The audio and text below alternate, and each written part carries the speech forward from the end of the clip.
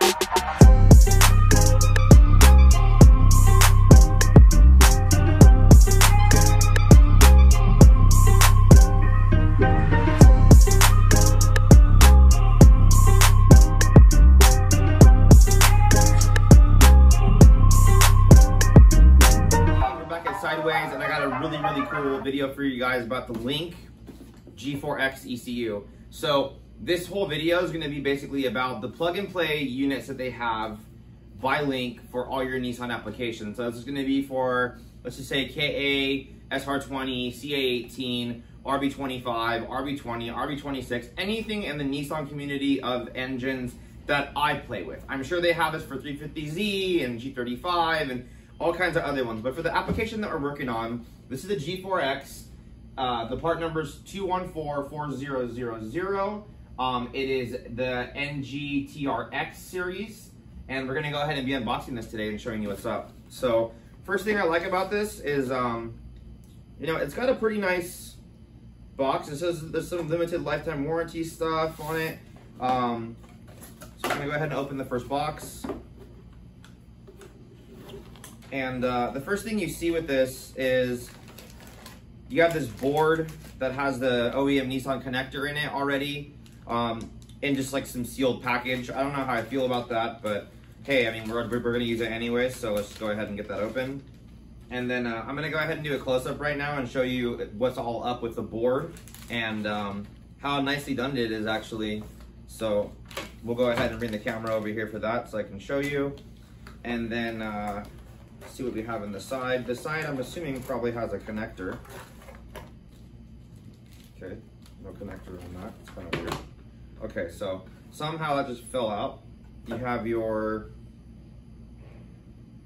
ECU connector that will connect to now your link style connector. I, have seen this connector before. Um, I don't know if I really like it. Uh, it's got like kind of, kind of like a little cam lock style connector, just to USB, and it is you know specific to Link, which I mean I guess it's kind of cool for that kind of stuff.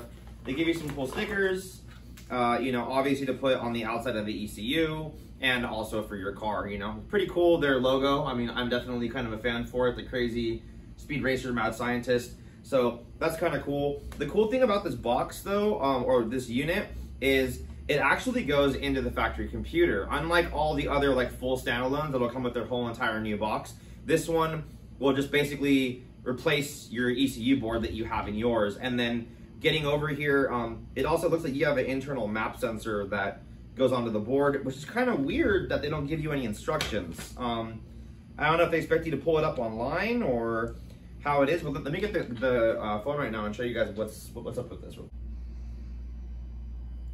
All right, guys, so let's get right into this. So all in all, I mean, it's pretty cool looking. What I do see, you can also see right here, R34 GTR, blah, blah, blah, blah.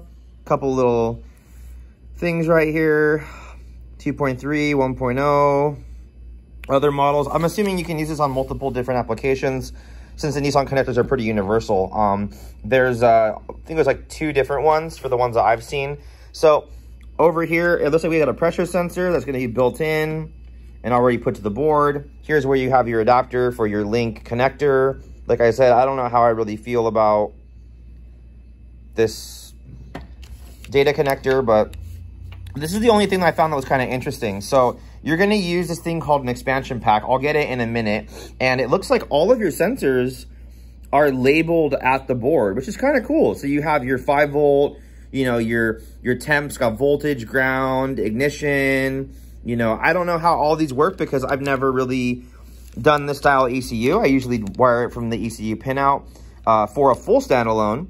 But, I mean, you got some CAN stuff over here and OBD stuff. I mean, it's cool that the board's labeled. I'll definitely give them that. Um, you know, I only reason that I'm not a big fan of this computer, um, these these kind of plug and play like the IS300 and these Nissan ones is it gets really redundant because you're having to run um, a onboard or not onboard, sorry, but just you, are having to run like, like an AEM wideband in the car, similar like the old school V2 stuff, and then you're having to run a wire from the gauge into your computer. Well, I mean, with the new CAN system and everything else being there now, like why would you want to have to wire everything in like the older systems?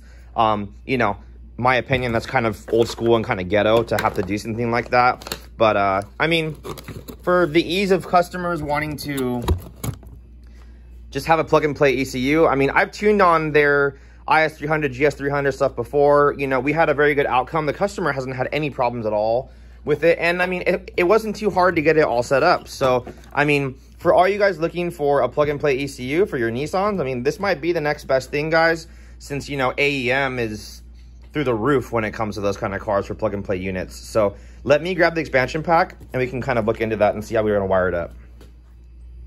All right, guys.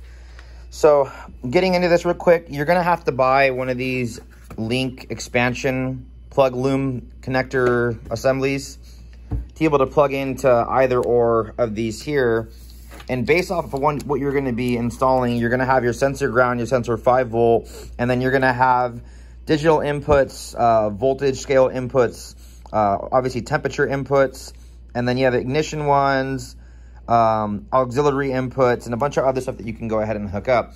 So judging that I'm going to be running oil pressure, um, fuel pressure, and flex fuel, I'm assuming that I should still be able to run two of these because I'm only going to need two inputs, either voltage or digital inputs or whatever we're going to be using. So I think one expansion plug should work. These just plug directly in.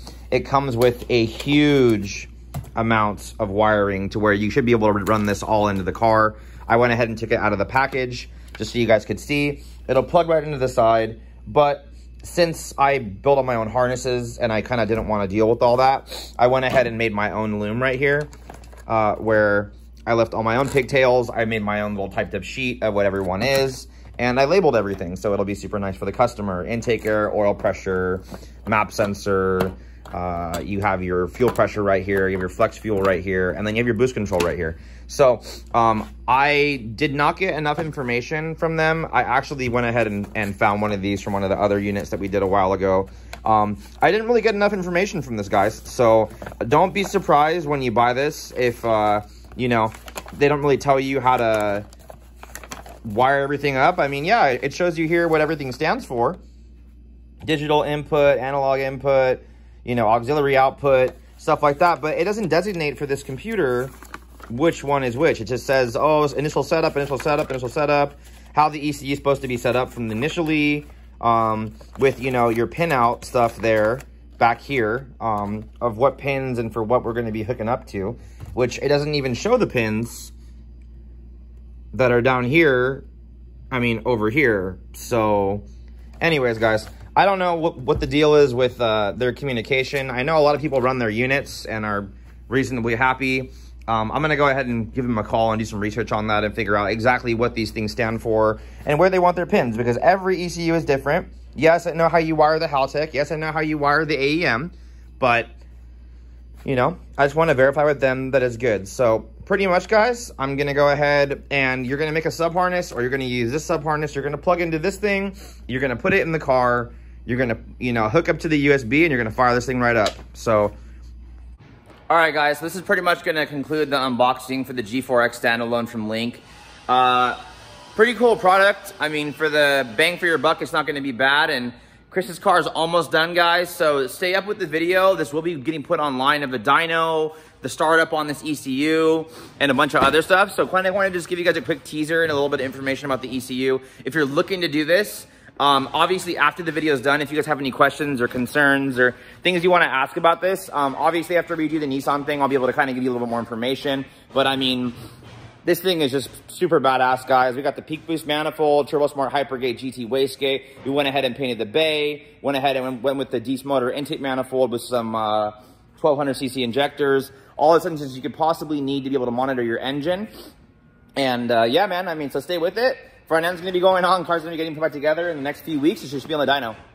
Thanks for watching.